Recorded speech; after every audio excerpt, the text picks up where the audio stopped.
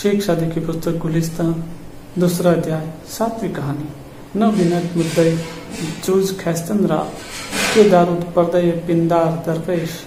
गरत चश्मे खुदा बिनी वो बकसद न बिनी हैज़ कस आजिज तर। अज खैश, यानी मूर्ख आदमी अहंकार के वशीभूत होकर अपने के सिवा दूसरों के दुख दर्द को बिल्कुल नहीं देखते। दूसरों के गुणों को भी नहीं जान पाते। यदि उनमें ईश्वर को देखने की शक्ति होती तो अपने को ही सबसे अधिक नीचा समझते।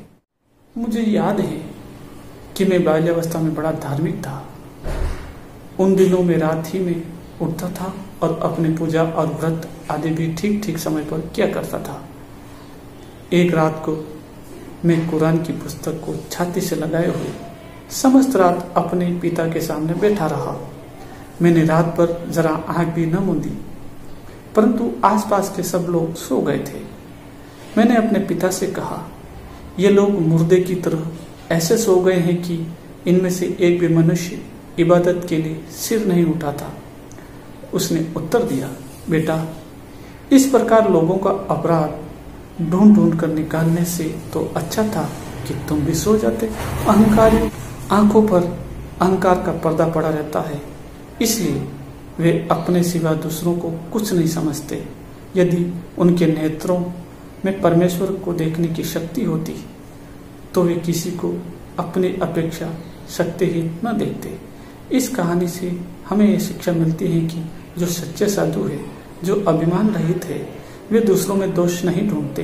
किंतु जो अभिमानी है, उसकी दृष्टि दूसरों के दोष ढूँढने में ही रहती है। अभिमानी मनुष्य अपने समान जगत में सबसे बड़ा, सबसे गुणवान और दोषहीन समझता है। किंतु सच्चा महात्मा वही है, जिसे जरा भी अभिमान नहीं है। जिसमें अभिमान है, उसमें सब दोष हैं। अभिमान त्यागे बिना मनुष्य ईश्वर तक कभी नहीं पहुँच सकता।